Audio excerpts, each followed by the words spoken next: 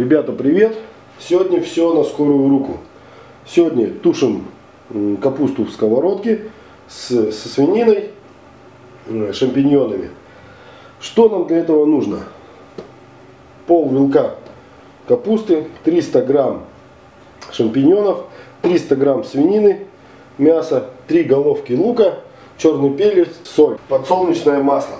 Приступаем. Первое, что нам нужно сделать, это нам нужно мелкими кусочками, мелкими кусочками нарезать свинину. Поэтому и будет, поэтому и называется на скорую руку. Чем меньше кусочки, тем они быстрее приготовятся. Можно, конечно, взять ребрышки и потушить капусту с ребрышками. Но это займет очень много времени. Все, мясо у нас готово. Выгружаем сюда. Сковородка пока греется. Подготавливаем лук. Все, лук у нас готов. Э, сковородка разогрелась. Сначала нам нужно поджарить лук.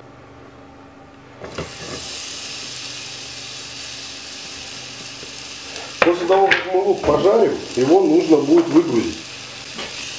Поджарить его нужно до золотистой корочки, чтобы он прям потом капусте придал такие вот свои луково-поджаренные вкусовые качества. Маленечко соли, щепотку. Прямо вот в это время можно поперчить. Кому нравится, может добавить трав. Ну все, мы практически добились желаемого результата. Еще две минутки. Все, и мы снимаем лук. Вот он золотистого цвета получился. Лук выложили в пиалушку поджаренный. Добавляем чуть-чуть масла подсолнечного. Выкладываем мясо. Мясо быстро распределяем по сковородке.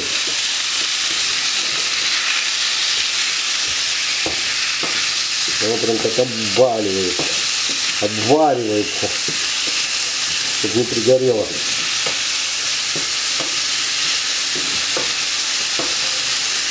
Перевели э, плитку на двойку. Лук поджаривали на девятке. Сейчас перевели на двоечку.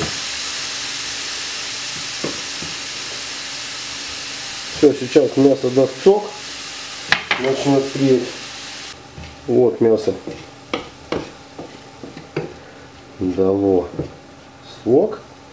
Стоит на двоечке. Обязательно подсаливаем. Две щепотки мяса. Ой, мясо. Соли. Торможу.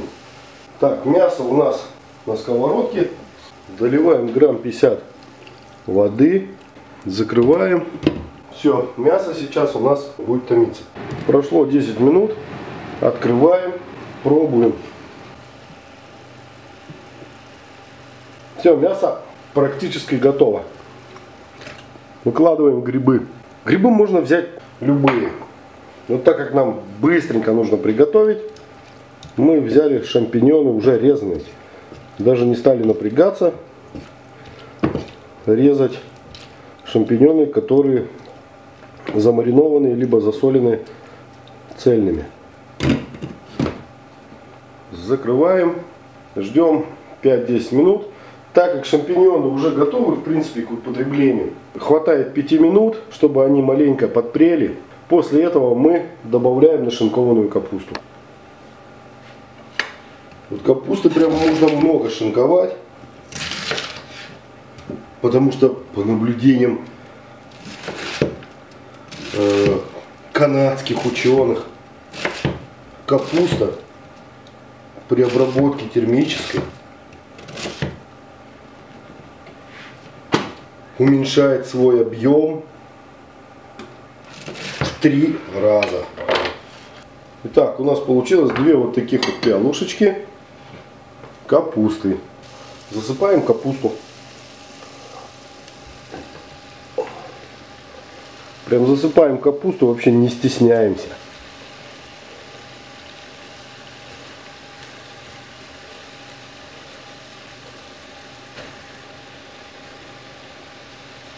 Замки из песка. Накрываем крышкой.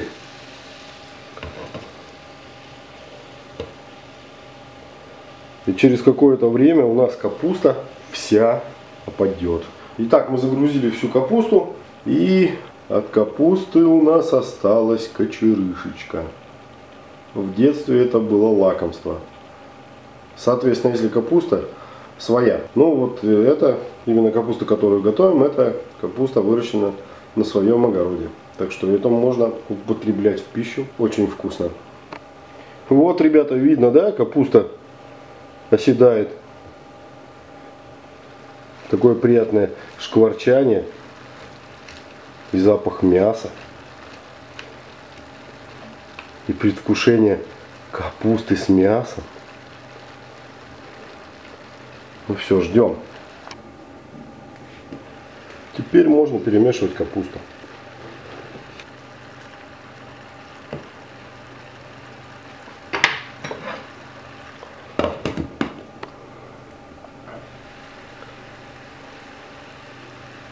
Капуста у нас уваристая стала.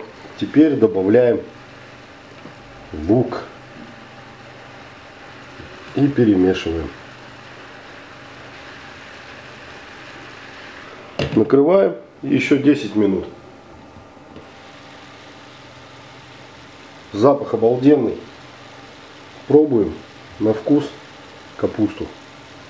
Маленько не хватает соли, но капуста уже готова.